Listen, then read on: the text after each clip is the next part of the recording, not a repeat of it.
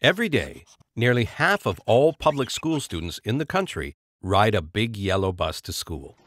It's a huge operation that provides a service bigger than all other U.S. transit systems combined. The current system provides a much valued, safe service for our children. And, like the plumbing in our homes and other infrastructure, we rarely discuss it until it breaks. Fundamentally, the school bus gets kids to school. If students can't get there safely and on time, it impacts their learning and impedes schools delivering on their core mission. Despite its importance, school transportation looks largely the same as it did 50 years ago, even as 21st century schools and districts continue to change.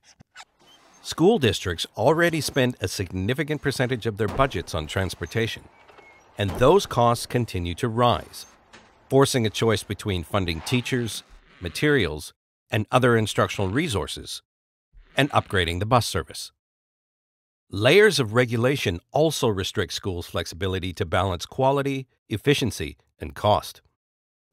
Facing unusually high cost pressures at $110 million, Boston Public Schools recently issued a public challenge to help it navigate the complex transportation needs of its students and schools.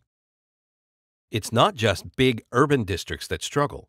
Rural schools often run half empty buses across huge geographies, with long ride times for kids wear and tear on buses, and high costs per student.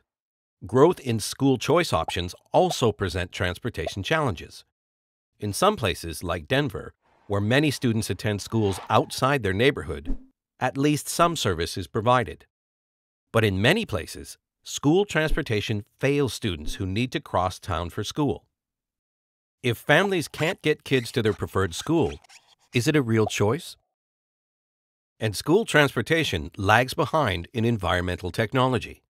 In 2014, only 6% of new school buses in the US and Canada ran on alternative fuels. Compare that to over a third of mass transit buses in the US using alternative fuels or hybrid technology. Clearly, modernizing school transportation isn't easy. There's no magic wand to reconcile balancing optimal safety, efficiency, cost, and protections for students' special needs. So, where do the solutions lie?